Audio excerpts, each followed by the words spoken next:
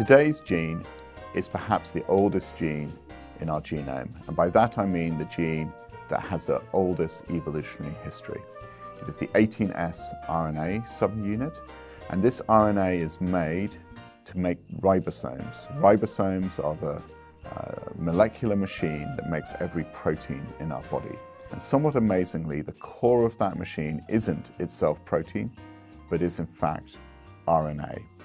We share this RNA with every single living organism on the planet, and in our own bodies, it is kept at the top end of a number of chromosomes, like chromosome 13, chromosome 14, 21, and 22. These big arrays of this uh, gene are very, very difficult to sequence. And in fact, it's still unclear precisely the DNA sequence of this part of the genome. More recently, due to long read technologies, we've been able to go through these parts of the genome. And I'm quite excited that in the next couple of years, I believe we'll have a complete human genome, including the very hard bits to sequence. I hope you enjoy these videos and come back tomorrow to see my next gene.